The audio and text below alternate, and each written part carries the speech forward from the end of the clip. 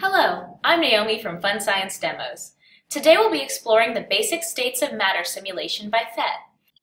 If you are unfamiliar with PhET simulations, these are simulations which run on HTML5, which means they can be accessed by students and teachers across PC, Mac, tablet, and mobile devices with an internet connection. Once I have covered the basics of how to use the simulation, we will explore other resources PhET has made available which educators may want to use to build a lesson using this resource. Let's get started. When you first open the simulation, you may notice a few things immediately. In the top right here, we are given a list of the kinds of matter we can simulate. We are given atoms and molecules to play with. We have neon and argon, which are noble gases, oxygen, which is a diatomic atom, and water, which is a molecule. Let's play with water. Now right below it you can see a list of the states of matter, solid, liquid, and gas.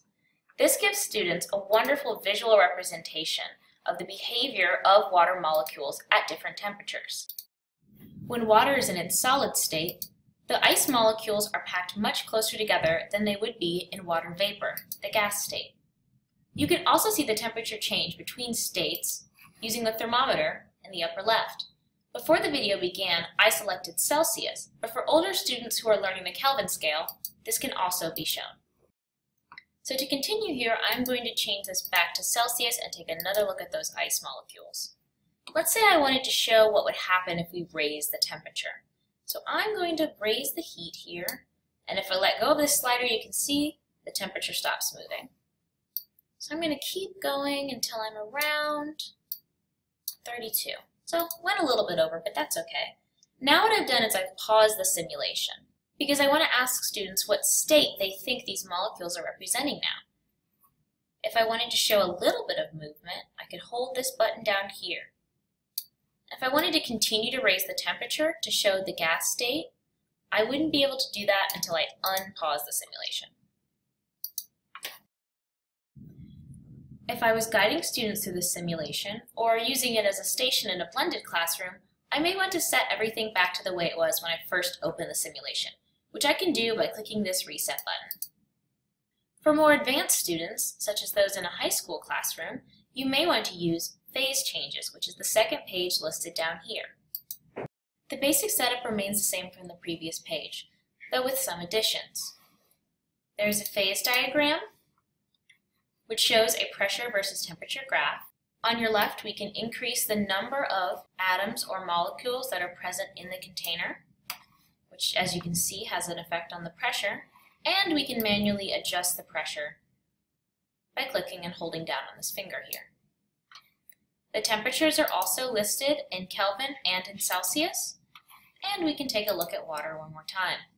Now here I'm cooling the water, and you can see that red dot moving along the temperature versus pressure graph, and I have tried to position the molecules to be in a state around the triple point. Now that you have learned all the basics of this simulation, let's take a look at what other resources PhET has to offer. By navigating to the home page,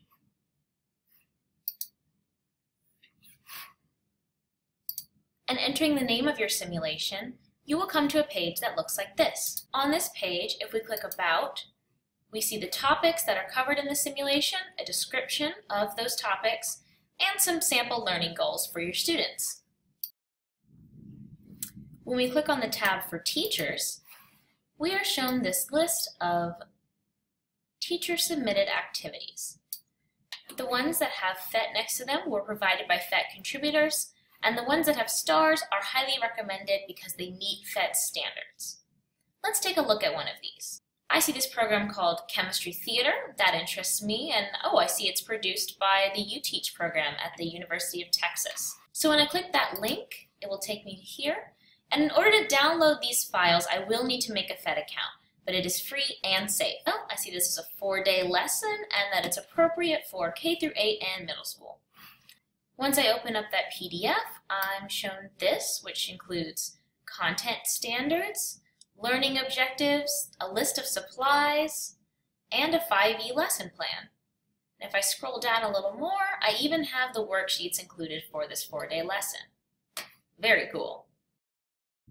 This has been an introduction to the basic states of matter PhET simulation, and an introduction to PhET's teacher resources.